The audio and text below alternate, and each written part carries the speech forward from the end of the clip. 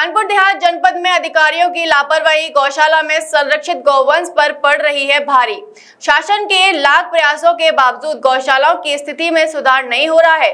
जनपद की गौशाला गौवंश के लिए कब्र कहा बनती जा रही है। गौशाला में पर्याप्त भूसा, चोकर व दाना की उपलब्धता के बावजूद केयर टेकर लाही का भूसा खिला रहे हैं, जिससे लगातार गौवंशों की गौशाला में मौत हो रही है।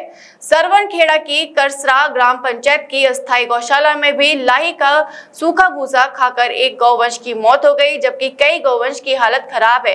यहाँ गौशाला में सूखा लाई का भूसा खिलाया जा रहा है लेकिन जिम्मेदार अधिकारी गौशाला की व्यवस्था दुरुस्त होने का कागजों पर दावा कर रहे हैं। बाहर में अब जैसे वहाँ चले गए। हम्म, अब मान के चलो अब जो बीमार है तो भाई उसके लिए कुछ थोड़ी किया जा सकता है। डॉक्टर आए इलाज तो करके। मरी कब है? ये तो अभी दोपहर बाद मरी है अच्छा। घंटा घंटा डेढ़ घंटा होगा इसको। अच्छा। भाई हम वहाँ खेत में थे ना अभी पानी लगाए थे। तो आपने डॉक्टर को नहीं सूचना दी? नहीं अब अभी तो हम आपके बुलाए पर तो खुदे खेत से आ रहे हैं। आपका नाम क्या है? तुलसी। तुलसी। तुम्हारे अलावा और गौशाला में कोई है काम करने वाला? काम करने वाले चार हैं। वो लोग कहाँ हैं? वो गाँव के हैं। नाम? लोग भी यहाँ देखे नहीं कि ये मर गई। वो लोग आए सुबह आते हैं और ग्यारह बजे के बाद क्या नाम है उनके? उनका नाम एक का सुधीर हम्म, एक का मौला हम्म।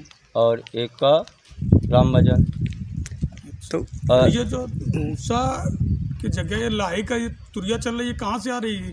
कब से ये आ नहीं रही ये पहले का है। लाही की तुरिया खिला रहे हो ना? नहीं पहले से। वो कहाँ चोकर चूनी और हरी बरसी वगैरह। महँगी बिजली बिल की समस्या से छुटकारा पाइए। सोलर सिस्टम लगाइए। जी हाँ आपके लिए बेहद आसान हुआ सोलर सिस्टम लगवाना। संपर्क करें Amity electronics corporation Krishna Nagar, Mathura. जैसा कि मैंने आपको बताया कि भाई इसका आर ओ आई पच्चीस परसेंट है, यानी पच्चीस परसेंट का रिटर्न है। इसके हिसाब से देखा जाए तो जो लागत आप लगा रहे हैं, वो लागत आपकी चार साल में निकल आएगी